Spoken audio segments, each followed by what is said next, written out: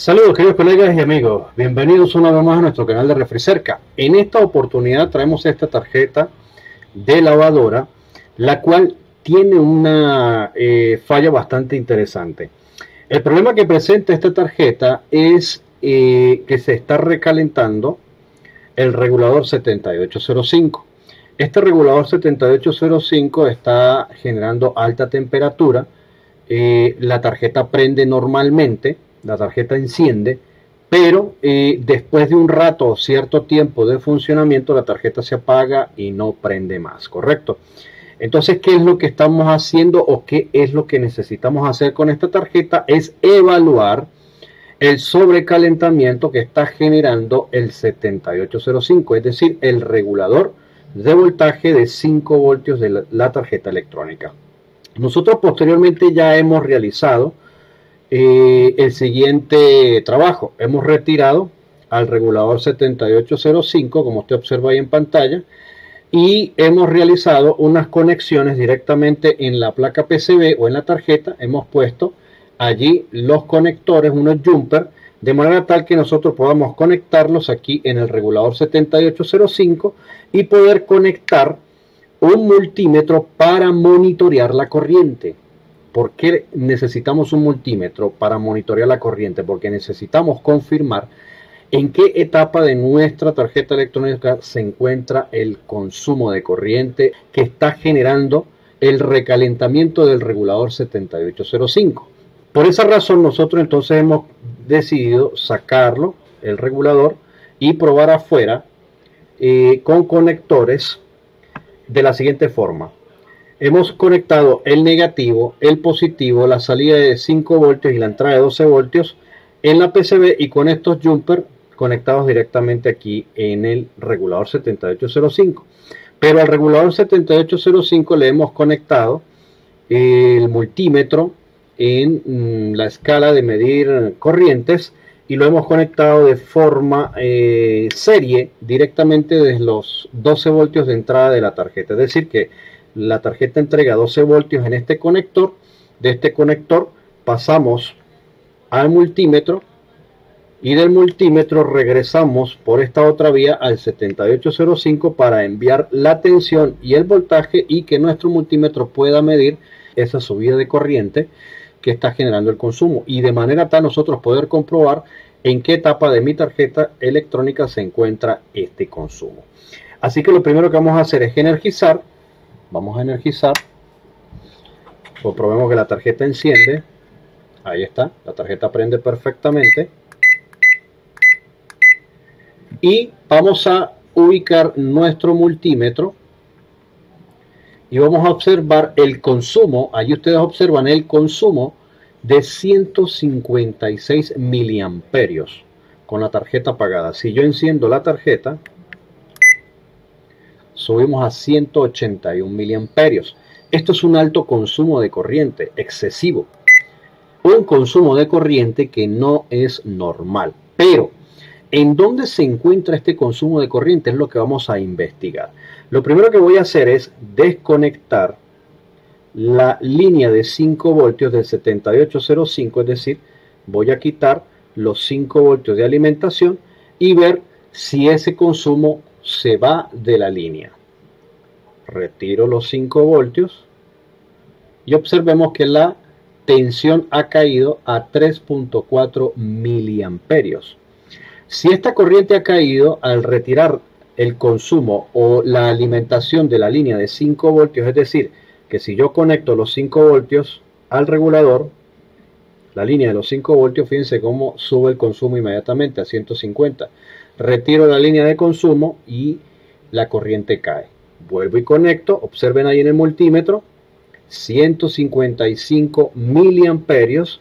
Cuando desconecto el cable de los 5 voltios, se cae a 3.4 miliamperios. Esto quiere decir, chicos, que el consumo de corriente está siendo generado en la línea de 5 voltios y si este cortocircuito de algún componente que debe estar generando algún problema debe estar en la etapa de los 5 voltios, que en este caso podría ser el microcontrolador o algún circuito integrado que esté conectado a esa línea o capacitores o algún componente, es lo que nos está generando este alto consumo de corriente y que por supuesto el regulador se recaliente y que luego de un rato ya no funcione más por el exceso de corriente que está generándose. En este caso voy a conectar nuevamente la línea de 5 voltios Fíjense que la corriente sube a 155 miliamperios. Y voy a tratar de tocar el microcontrolador a ver si el micro es el que se está calentando. Porque bien puede ser que el micro es el que esté generando el consumo de corriente. O algún otro componente. Tocamos este otro circuito integrado que este sería la memoria EPROM. No sentimos temperatura por el momento. Está recién conectado voy a medir, a tocar por la parte posterior, capacitores.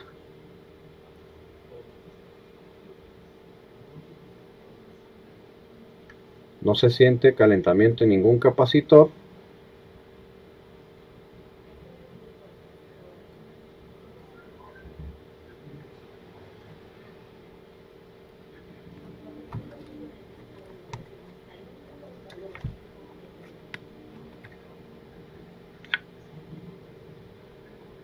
Tocando. Ah bueno chicos aquí ya estoy empezando a sentir caliente este circuito integrado. Esta es la memoria EPROM memoria EPROM se está poniendo caliente. No muy caliente pero sí se pone calientica. Y eso no es normal que se ponga caliente ok así que entonces ya tengo un posible candidato que eh, sería que me está generando este consumo de corriente anormal. Lo que voy a proceder a hacer, voy a quitar la energía y lo que voy a proceder a realizar es que voy a desconectar o a deshabilitar a este eh, a esta memoria EPROM en la línea de los 5 voltios de alimentación. Vamos a deshabilitarlo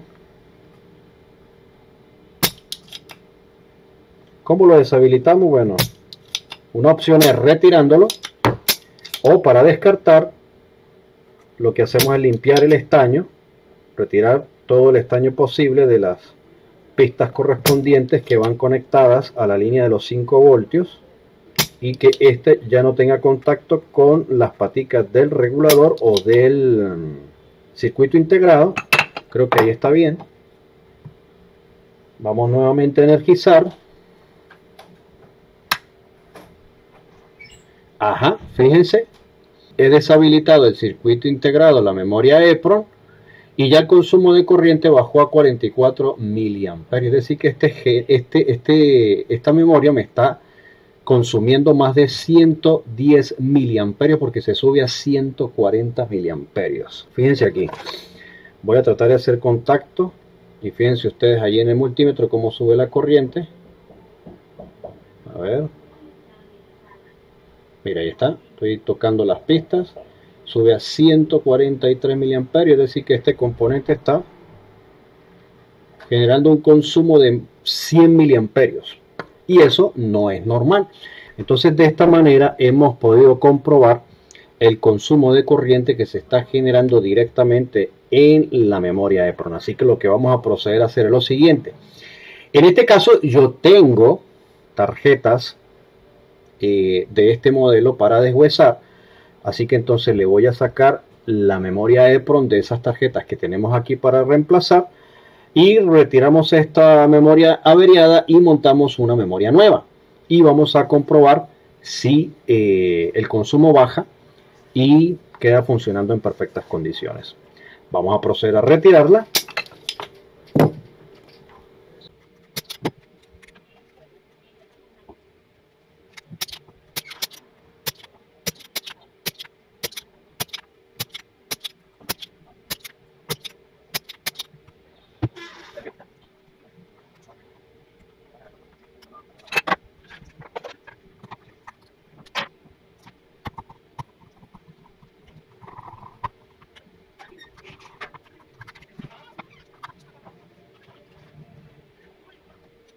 Bien, aquí tenemos una memoria EPROM que he reciclado de otra tarjeta electrónica, así que la vamos a colocar.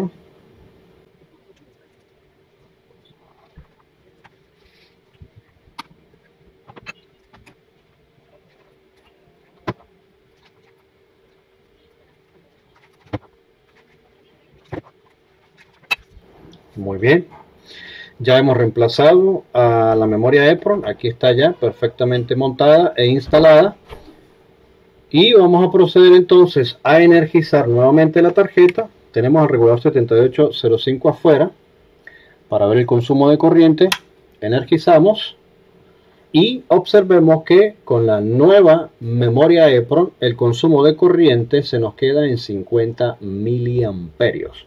Vamos a encenderla. La tarjeta enciende, encendida no llega a 100 miliamperios, 77 miliamperios, bastante interesante. Muy bien, fíjense que ahí prendió perfectamente la tarjeta, funciona perfectamente. Allí subió a más consumo, por lo que entran más bombillitos en el encendido. Fíjense que allí tenemos 76 miliamperios de consumo, pero solamente tenemos dos LEDs encendidos y algunos bombillitos aquí, pero si cambiamos programación, se encienden más bombillitos y por supuesto que tiende a subir más consumo de corriente porque hay más diodos LEDs en funcionamiento, chicos. Entonces, vamos a apagarlo. Y consumo final, 50 miliamperios. Este consumo está normal este es el consumo normal que debe tener la tarjeta electrónica, ya que en este punto está funcionando lo que sería el microcontrolador y está funcionando lo que sería la memoria EPROM. Este es el consumo de corriente normal, así que chicos, de esta forma es como podemos comprobar un cortocircuito o como podemos comprobar un corto en algún componente, de manera tal que es necesario que podamos utilizar un multímetro que nos permita poder medir las corrientes y poder comprobar en qué línea de eh, la etapa de, la, de, la, de las líneas de alimentación se encuentra el cortocircuito o se encuentra el componente que está consumiendo esta excesiva corriente. En este caso nos pudimos dar cuenta que efectivamente al desconectar la línea de los 5 voltios desde el 7805, veíamos cómo se nos caía a 3 miliamperios el consumo de esta corriente.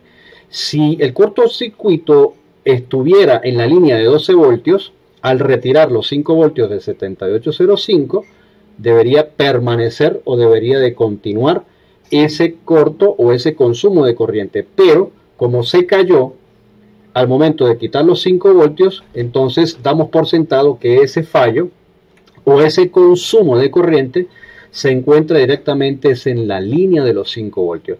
Y allí es donde tenemos que proceder a analizar, verificar y comprobar qué componentes son los que trabajan en esa línea que me van a permitir eh, poder identificar eh, qué componente precisamente sería el que se encuentra en este, eh, con este alto consumo. En algunas circunstancias podríamos llegar a encontrar que fuera el microcontrolador o que fuera algún condensador cerámico, pero para esto es necesario utilizar nuestros dedos para poder sentir el consumo de corriente, la temperatura, porque todo eh, componente o todo circuito que eh, tenga un alto consumo de corriente, este necesita disiparlo y esto se logra observar es con temperatura. Así que ese componente que esté consumiendo dicha corriente tendrá que reflejarlo con calor, con temperatura y de esa forma es como podemos ubicar un cortocircuito en algún componente o circuito integrado.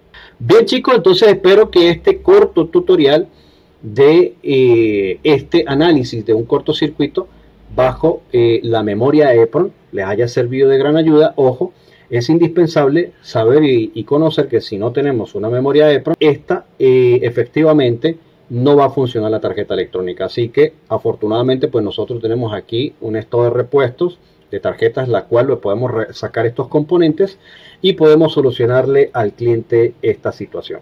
Así que no me queda más nada que decirles que si les gusta lo que hacemos en este canal, regálanos siempre una manito arriba, comenta, comparte y por supuesto suscríbete a nuestro canal para que estés al tanto con todo el contenido y todo lo que estamos subiendo para ti. Somos Refricerca, servicio técnico especializado en línea blanca. Muchas gracias.